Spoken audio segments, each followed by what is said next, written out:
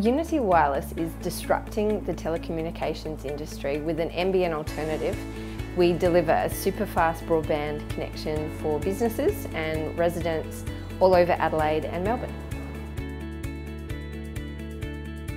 Kay, the other co-founder and I started Uniti uh, because as consumers we were extremely dissatisfied with the current state of broadband and we, we saw an opportunity in the market to disrupt. Um, we saw the NBN was likely not going to be the solution for everybody um, and so we set out on that journey.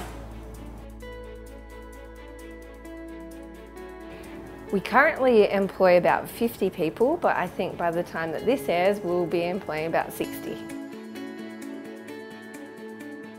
We've seen such an increase in, well, rapid growth I think we could attribute to the compulsory migration of uh, the, the NBN has presented. We, we're seeing uh, consumers having to shift from technologies, so that presents uh, an opportunity in the market and in the industry where the, the business model is broken. So issues that arise equal opportunities for other businesses to fill um, and that has been our advantage. We've been able to offer the consumer something that actually that actually achieves performance and the service that they're desperately seeking. Uniti's greatest achievement, I think, is, is really taking the vision that we had launching it and making it happen and growing it and creating a disruptive business that really is delivering and continuing to thrive.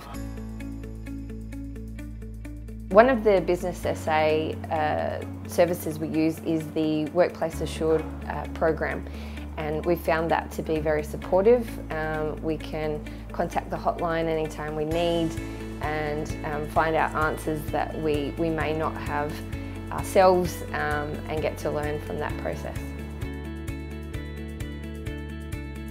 One of our major business concerns at the moment is the recent change in government um, and what that means for small businesses and as well as in innovation.